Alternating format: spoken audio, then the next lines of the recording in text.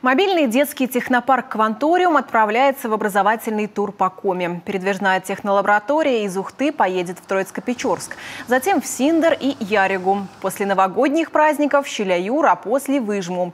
Завершит мобильный технопарк учебный год в Сосногорске. В каждом населенном пункте педагоги проведут полтора месяца.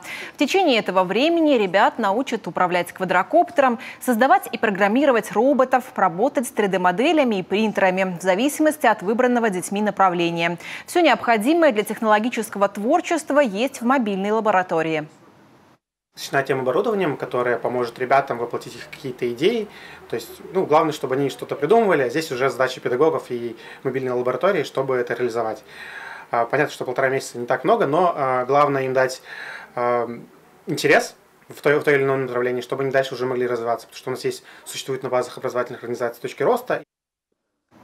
Виртуальную и дополненную реальность, промышленную робототехнику и дизайн, аэро- и медиатехнологии в мобильном кванториуме дети в возрасте от 8 до 17 лет изучают абсолютно бесплатно. Для этого нужно только оставить заявку.